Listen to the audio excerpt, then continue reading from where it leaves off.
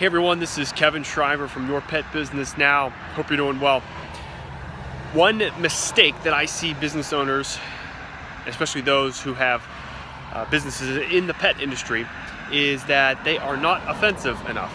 And I don't mean offensive like uh, offending people, making people mad, making people upset, disrupting people's day. I'm talking about offensive as it relates to the opposite of defensive it's very challenging to run a business and the biggest key to solving most problems is to get more offensive. Turn on the offense and get after it. Playing defense is a recipe for disaster in the business world. You have to have a plan, you have to have a process, you have to have strategy, mindset, skills, and tactics that lead and build around offense and getting new people in the door.